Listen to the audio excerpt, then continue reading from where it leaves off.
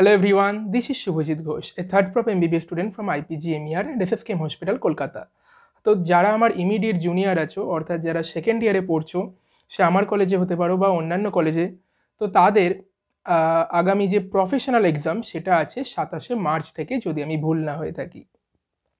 তো সেই জায়গায় দাঁড়িয়ে তাদের মধ্যে অনেকেরই প্রশ্ন যে দাদা এই যে শেষের কিছুদিন বাকি আছে পঞ্চান্ন থেকে ষাট দিন মতো বাকি আছে এরই মধ্যে কোনো কোনো কলেজে হয়তো এখন তাদের প্রি প্রফ এক্সাম অর্থাৎ যে ফাইনাল ইন্টারনাল এক্সাম যেটা, সেটি হয়তো চলছে বা আগামী দিনের রুটিন শিডিউলড আছে সেইভাবে, আগামী দশ বারো দিনের মধ্যে আছে।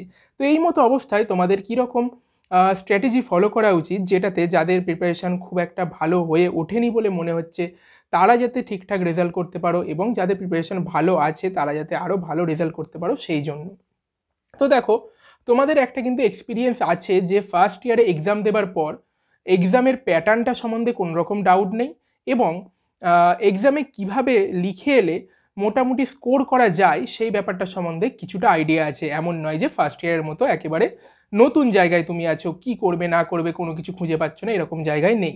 যেটা সেকেন্ড ইয়ারে তোমাদের কাছে কম্পারেটিভলি একটু নতুন জিনিস হবে সেটা হচ্ছে যে ফার্স্ট ইয়ারগুলি ফার্স্ট ইয়ারে সাধারণত আমরা ওয়েস্ট বেঙ্গল বোর্ডের স্টুডেন্টরা কোয়েস্ট খুব একটা ফলো করি না। কোয়েস্ট মানে যেখানে প্রিভিয়াস ইয়ার্সের কোশ্চেন আনসারের সম্পূর্ণরূপে বই, সেই বইগুলিকে, সেই বইগুলির একটিকে আমরা বলি কোয়েস্ট মানে সেই বইগুলি পাওয়া যায় যেগুলো বাজারে, যেগুলো পাস্ট টেন ইয়ার্সের প্রশ্ন থাকে, সেগুলিকে কোয়েস্ট নামে পরিচিত বা অন্যান্য নামে পরিচিত আছে। তো যাই হোক ফার্স্ট ইয়ারে সেই অর্থে ফিজিওলজি বা বায়োকেমিস্ট্রির কোয়েস্ট খুব একটা ভালোভাবে পরিচিতি ছিল না। অ্যানাটমিটা হয়তো তোমাদের ব্যাচটা যারা, তারা পেয়েছিলে, আমরা পাইনি। যাই হোক সেই সমস্ত জায়গাগুলো থেকে তোমরা বুঝে গেছো যে লাস্ট ইয়ারের পেপার থেকে কিন্তু প্রশ্নগুলো করা খুব জরুরি। তার সাথে আরেকটা জিনিস যেটা জরুরি যখন সমস্ত কলেজের এই ফাইনাল ইন্টারনাল এক্সামটি হয়ে যাবে, তখন হয়ে যাবার পরে সেই সমস্ত কলেজের কোশ্চেনগুলো কিন্তু তুমি কালেক্ট করবে এবং কালেক্ট করে সেই কোশ্চেন আনসার অবশ্যই তৈরি রাখবে beside ten years paper ten ইয়ার্সে ten years যদি তুমি করতে না পারো last seven to eight years অবশ্যই করবে। ঠিক আছে? আর এই মতো জায়গায় যাদের ধরো এই নেক্সট দুদিন পরেই তোমাদের আছে হয়তো নেক্সট দুদিন বা নেক্সট উইকে আছে তোমাদের কলেজের internal exam final internal exam এই সময় দাঁড়িয়ে তুমি কিছু কিছু জনের হতে পারে যে সারা বছর বই তো খুলেছি, কিন্তু শেষ মুহূর্তে কীভাবে করব? সবটা একসঙ্গে হজম হচ্ছে না ঠিকঠাক। তো সেই ক্ষেত্রে প্রিভিয়াস ইয়ার্সের পেপারগুলি খুলে, অবশ্যই যেগুলো ক্লিনিক্যাল কোশ্চেন যেগুলোতে ক্লিনিক্যাল এক্সামিনেশনের ব্যাপার আছে, এরকম হিস্ট্রি দিয়ে দিয়েছে বা একটা পেশেন্ট হিস্ট্রি আছে, সেখান থেকে তোমাকে মাইক্রোবায়োলজিতে স্পেশালি প্যাথোলজিতে এই জিনিসগুলো থাকে, যেগুলো বড় প্রশ্ন থাকে পনেরো নম্বরে, সেই প্রশ্নগুলো, সেইগুলো একবারে কিন্তু ডাইরেক্ট এসে যায়। তো সেইগুলো অবশ্যই একবার লাস্ট মোমেন্টে দেখে রাখবে। আর এই সময় দাঁড়িয়ে তোমাদের মাইক্রোবায়োলজির জন্য মাইক্রোবায়োলজি কি হয়? আমার যতটা মনে হয় যে সবাই কিন্তু খুব একটা পড়ে উঠতে পারে না বা পড়তে খুব একটা সবার ভালো লাগে না। সবার ভালো লাগে না মানে আমি ম্যাক্সিমাম জোনের কথাই বলছি। সেই জায়গা থেকে শেষে গিয়ে মাইক্রোবায়োলজিতে একটু অসুবিধার পড়তে হয়। আমার নিজস্ব এক্সপিরিয়েন্স থেকেও বলতে পারো, এটা বলছি।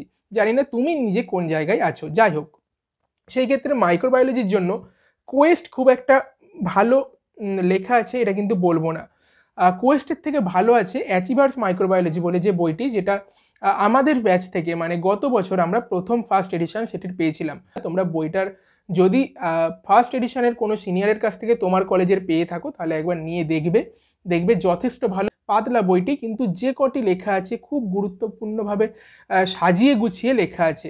আমি এর যে সেকেন্ড এডিশন রিসেন্ট পাবলিশড হয়েছে, এই আই থিঙ্ক জানুয়ারি মাসেই পাবলিশড হয়েছে কয়েকদিন আগে, তো সেটারও লিঙ্ক নিচে ডেসক্রিপশন বক্সে দিয়ে দেবো এবং আমি দাদাদের কাছ থেকে চেয়ে একটি চ্যাপ্টারের যাতে তোমরা স্যাম্পেল কপি হিসেবে দেখতে পারো ডাউনলোডেড ফর্মে সেই পিডিএফের লিঙ্কও নিচে ডেসক্রিপশন বক্সে দিয়ে দেবো এবং ইন্ডেক্সটাও কীভাবে সাজানো আছে দিয়ে দিয়েছি।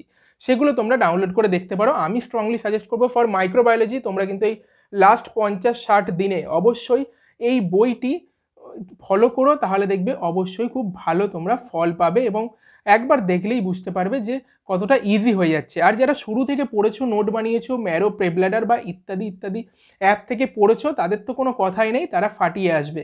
তারা লাস্ট মোমেন্টে এই কিছুদিন ভালোভাবে নিজের নোটসগুলো রিভাইজ করো আর অবশ্যই সেখান থেকে প্রতিটা ইউনিট বা প্রতিটি চ্যাপ্টার করার পর সেই চ্যাপ্টার থেকে বা সেই সিস্টেম থেকে, এখন তো সিস্টেম ধরে ধরে বিশেষ করে মাইক্রোবায়োলজির ক্ষেত্রে। তো সেই ক্ষেত্রে সেই সিস্টেম ধরে ধরে সেখান থেকে তোমরা প্রিভিয়াস ইয়ার্সের কোশ্চেনগুলোও দেখে নাও। নিজের নোটস অলওয়েজ বেটার সেইখান থেকে তোমরা শুধু জাস্ট প্রিভিয়াস ইয়ার্সে যেগুলো এসেছে সেগুলো সেই জায়গা থেকে একবার তৈরি করে নাও যাতে নিজের মধ্যে একটা কনফিডেন্স আসে যে না, আমার সব প্রিভিয়াস ইয়ার্স দেখা আছে। এবং আমি লাস্ট যে ইন্টারনাল হয়েছে সমস্ত কলেজের সেখান থেকেও প্রশ্নগুলো আমি দেখে রেখেছি। দেখবে মোরললেস সমস্ত প্রশ্নই একে একে কমনের দিকেই আসবে। লাস্ট টেন ইয়ার্স থেকেই প্রায় eighty to seventy percent question দেখবে যে ইন্টারনাল এক্সামের পেপারগুলো তোমায় কালেক্ট করতে বলছি, সেখান থেকেও এসে গিয়েছে। তো দেখে মনে হচ্ছে বিরাট জায়গা, কিন্তু যে কোনো একটা জায়গায় যদি তুমি করে নিতে পারো, তাহলে সমস্ত তিনটে সাবজেক্টের ক্ষেত্রেই তোমার তৈরি হয়ে যাবে, কোনো অসুবিধার কিছু নেই। এবার প্যাথোলজি এবং ফার্মাকোলজি এই দুটোর ক্ষেত্রে যদি বলি প্যাথোলজির ক্ষেত্রে কিন্তু কোয়েস্টের যে বইটি খুবই ভালো। তোমরা অবশ্যই আমি ওটাও সাজেস্ট করব যে যদি কেউ এখনও না কিনে থাকো প্যাথোলজির কোয়েস্ট বইটি কিন্তু কেনো। তুমি যে টেক্সট বুকই ফলো করে থাকো না কেন প্যাথোলজির সিলেবাসটা এতটাই বড় যে যেখানে শেষে গিয়ে অবশ্যই একটা ছোট্ট ফর্মে তোমার সমস্ত সিলেবাসটাকে এবং ইম্পর্টেন্ট জিনিসগুলোকে এক জায়গায় করে আনাটা খুব জরুরি, বিশেষ করে থিওরি এক্সামের জন্য। তো সেই থিওরি এক্সামের জন্য, সেই জায়গাটার জন্য কোয়েসটা কিন্তু খুবই গুরুত্বপূর্ণ একটা জিনিস হয়ে উঠ- উঠবে প্যাথোলজি এবং ফার্মাকোলজি উভয় সাবজেক্টের ক্ষেত্রেই। এরপর আসা যাক যে প্র্যাকটিক্যাল এক্সাম প্র্যাকটিক্যাল এক্সামে দেখো, যাদের ইন্টারনাল এক্সাম আগামী এক সপ্তাহ বা দু সপ্তাহের মধ্যে আছে বা চলছে এই সময়, তারা চেষ্টা করো যে কলেজ থেকে, তোমাদের নিজস্ব কলেজ থেকে যে কন্টেন্ট প্রোভাইড করা হয়েছে ফর প্র্যাকটিক্যাল পারপাস ভাইভাটা বাদ দিয়ে প্র্যাকটিক্যালের যে অসপি প্যাটার্নের জন্য, সেইগুলো যেন একেবারে মানে খুব ভালোভাবে তৈরি থাকে। তাহলে সেটা ফাইনালে গিয়ে অসুবিধা হবে না। আর না হলে ফাইনালে গিয়ে ফাইনালের আগে আবার তৈরি করতে হবে। মোটামুটিভাবে যেটা কলেজ তোমাদের করিয়েছে যে জায়গাগুলো অস্পিতে তোমাদের আগের ইন্টারনালগুলোই বা এই ইন্টারনালে দিতে চলেছে, সেইগুলো থেকেই ঘুরিয়ে ফিরিয়ে কিন্তু ফাইনালে অস্পিতে দেওয়া হয়ে থাকে। সমস্ত কলেজে মোটামুটিভাবে এইরকমই হয়ে থাকে। উনিশ বিশ কিছু পার্থক্য হতে পারে, কিন্তু খুব একটা বেশি পার্থক্য হবে না। এবং এখন তো আমাদের ব্যাচ থেকে মানে আমাদের ব্যাচ মানে দু হাজার উনিশের ব্যাচ থেকে অ্যাটকমের জিনিসটাও এসেছে যেখানে প্র্যাকটিক্যাল এক্সামে প্র্যাকটিক্যাল বা ভাই বা যাই বলো অ্যাটকমের ওই জায়গাটায় কিছুটা স্কোরিংও হয়ে যায় অ্যাটকমের জায়গাটাতে। সেখানটা তো আলাদা করে প্রিপারেশনের কিছু লাগে না, কিন্তু খুব স্কোরিং জায়গাটা। তো সেই জায়গা থেকে খুব একটা চিন্তার কিছু নেই প্র্যাকটিক্যাল নিয়ে যদি তুমি প্র্যাকটিক্যালের ওই একশো মার্কসের ভাইবাটাকে বাদ দিয়ে বাকি জায়গাটা ভালো করে তৈরি করে নিতে পারো, তাহলে সেই জায়গাটা থেকে যত নাম্বার আছে, সেখানে কিন্তু eighty to ninety percent score করা যায়।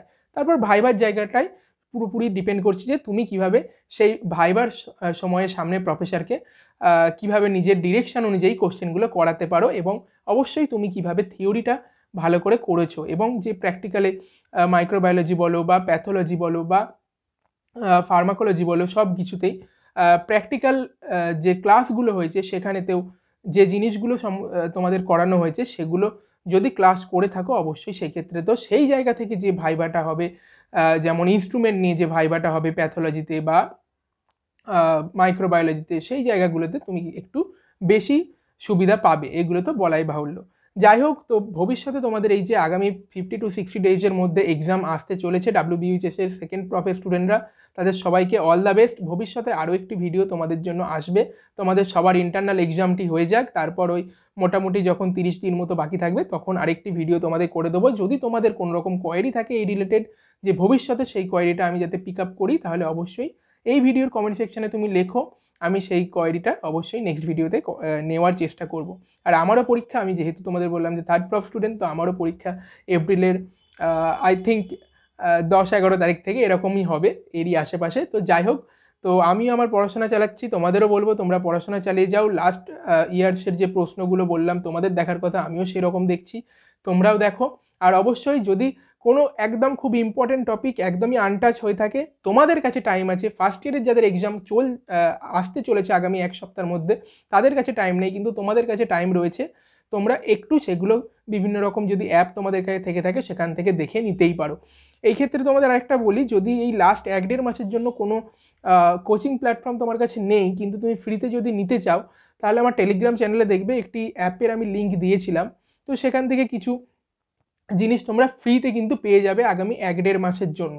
তো সেটা তোমরা আমার টেলিগ্রাম চ্যানেলের লিঙ্ক নিচে ডেসক্রিপশন বক্সে আছে, সেখানে গিয়ে তোমরা পেয়ে যাবে। না পেলে আমাকে টেলিগ্রামে গিয়ে ডিএম করো বা গ্রুপে একবার লেখো, লিখবে, আমি সেখানে দিয়ে দেবো। যাই হোক, তো চলো এই ভিডিওটা এখানেই শেষ করি। এই ভিডিওটা তোমরা সবাই তোমাদের সবার ব্যাচমেটদের সাথে শেয়ার করে দাও, যাতে তারাও এই ভিডিওটা থেকে কিছু গুরুত্বপূর্ণ ইনফরমেশন পেতে পারে এবং তাদেরও কিছুটা হলেও লাভজনক হয় এই ভিডিওটা। তো চলো এই ভিডিওটা এখানেই শেষ করলাম। All the best